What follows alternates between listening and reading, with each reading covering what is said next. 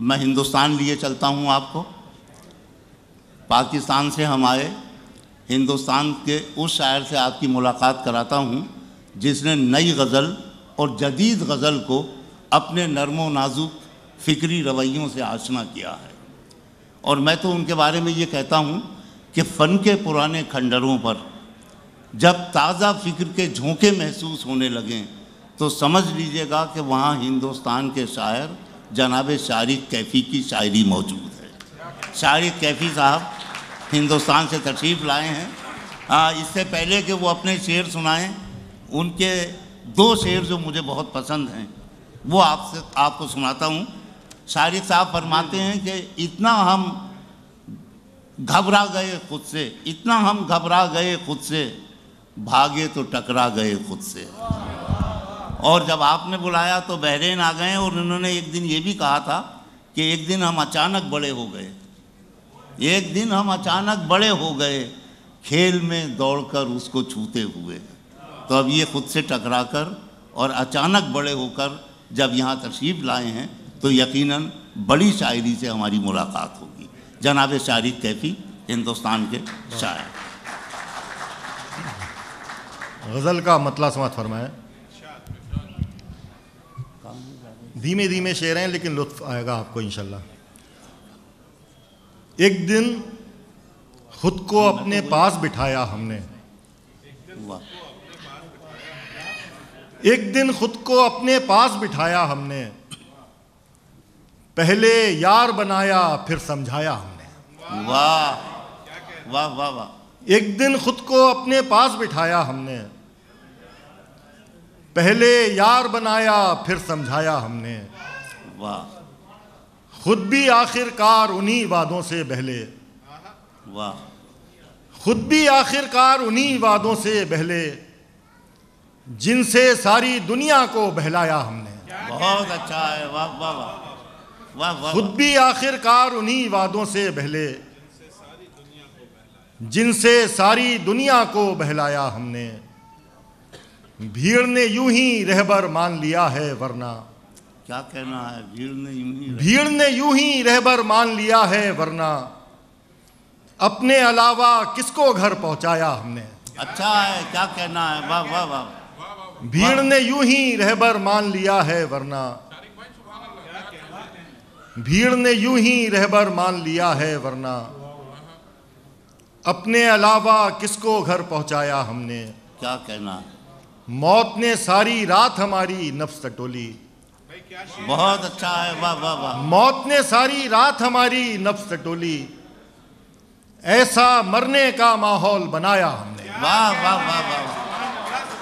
موت نے ساری رات ہماری نفس ٹولی کیا کہنا؟ موت نے ساری رات ہماری نفس ٹولی ایسا مرنے کا ماحول۔ ایسا مرنے کا ماحول بنایا ہم نے۔ گھر سے نکلے چوک گئے پھر پارک میں بیٹھے۔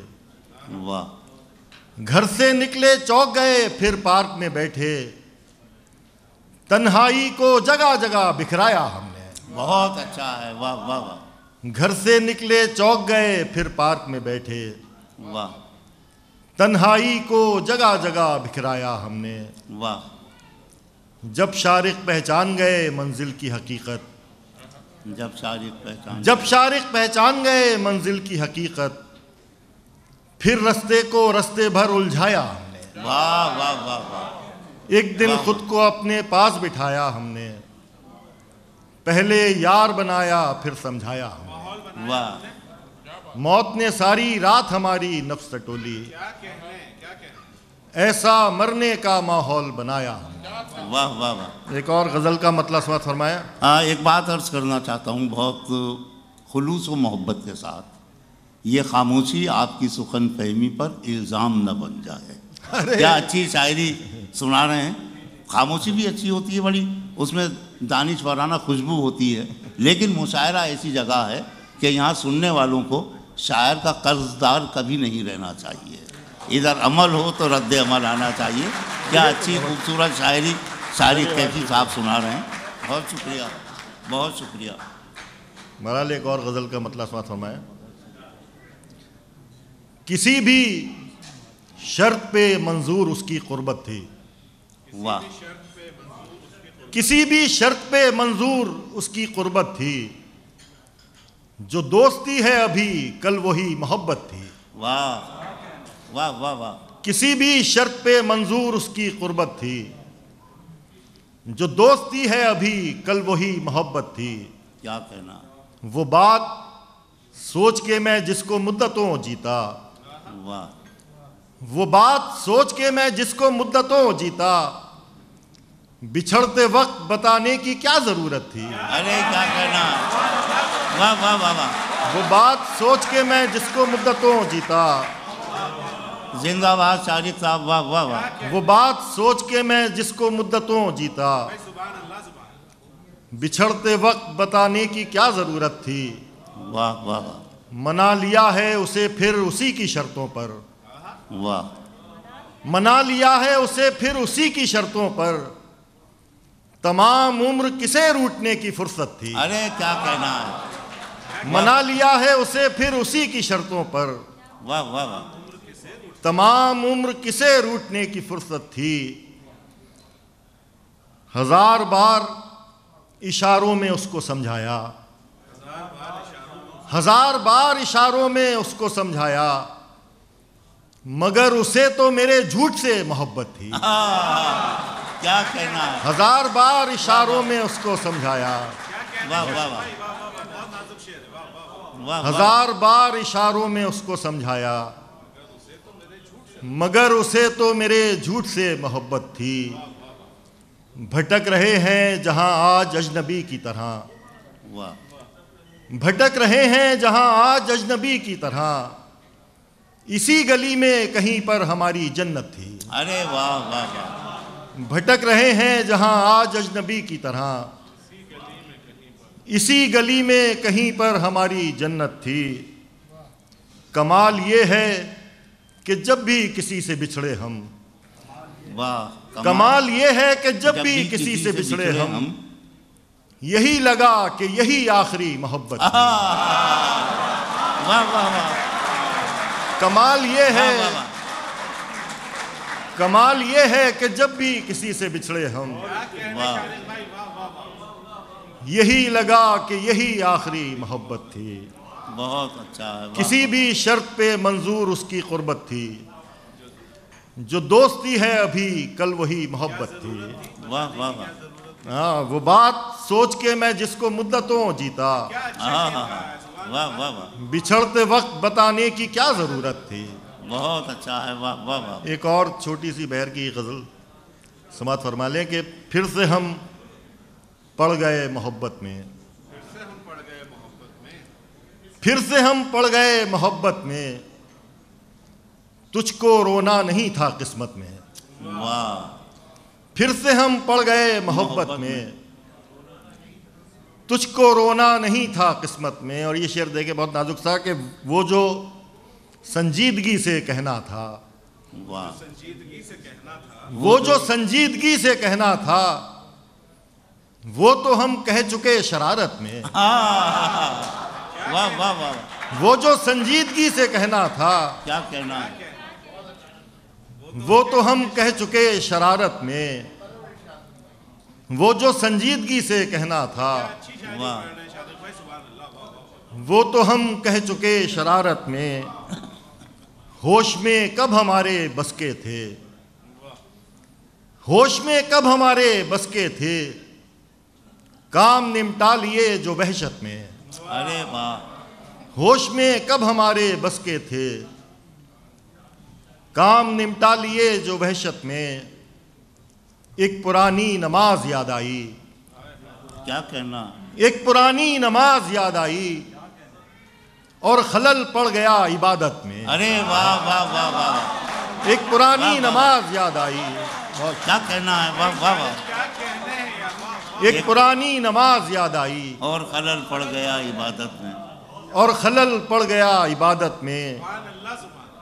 یاد رکھنا گناہ گار ہو تم۔ ہاں۔ یاد رکھنا گناہ گار ہو تم۔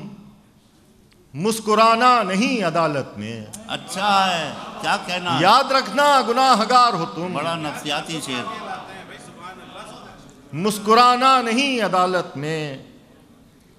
بس وہی مانگنے نہیں آتے۔ بس وہی مانگنے نہیں آتے۔ جن کا حصہ ہے میری دولت میں۔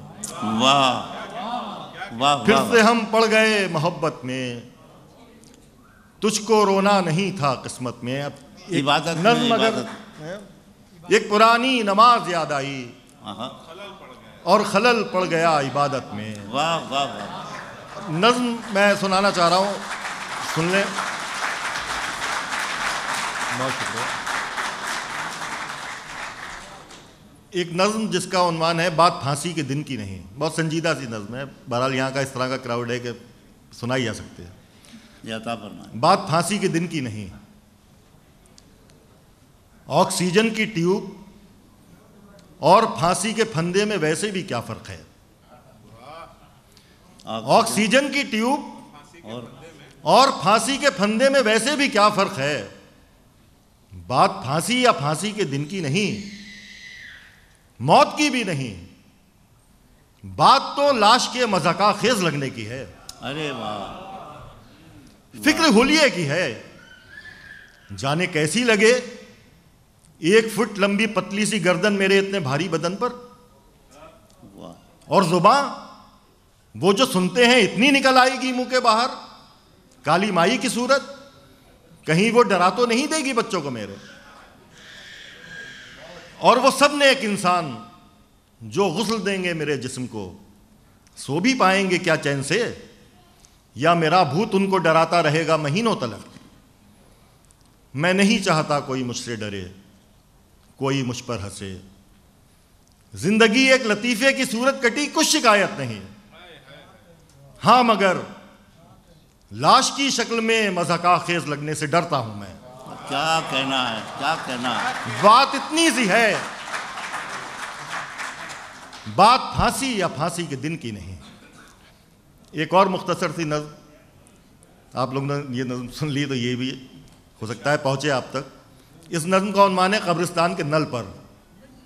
قبرستان کے؟ قبرستان کے نل پر۔ سماعت فرمائے کہ بلا سبب بڑبڑا رہے ہو۔ بلا سبب بڑبڑا رہے ہو۔ جو پھنس گئے ہو تو کم سے کم اب ثواب ہی ڈھنگ سے کما لو۔ اچھا۔ بلا سبب بڑبڑا رہے ہو۔ جو پھنس گئے ہو تو کم سے کم اب ثواب ہی ڈھنگ سے کما لو۔ کہا تھا میں نے کہ نل چلانے میں کوئی ساجا نہیں کرے گا۔ واہ۔ مگر کسی کی سنی ہے تم نے؟ ارے وہ حالات اور تھے جس میں ہر کوئی ہر قدم پہ کاندھا بدل رہا تھا۔ واہ۔ پاپ تو تدفین ہو چکی۔ بھیڑ مطمئن ہے کہ آج بھر کا ثواب اس نے کما لیا ہے۔ واہ۔ تو کون آگے بڑھے گا بولو؟ سو کون کتنا برا ہے یہ بات بھول کر صرف نل چلاؤ۔ چلائے جاؤ کہ جب تلک بھیڑ میں ہر خاص و عام کے پاؤں دھل نہ جائیں۔ کیا کہنا ہے؟ واہ واہ واہ واہ واہ۔ غزل کے انتہائی پرکشش اور قابل فکر لہجے کے شاعر جناب شارد کیفی اپنی دو نظمیں سنا کر ایک اور آئینہ ہمارے ہاتھ میں دے گئے اور یہ نظمیں صرف نظمیں نہیں جو لفظ آئینہ میں نے کہا ہے، بہت ذمہ داری کے ساتھ کہا ہے۔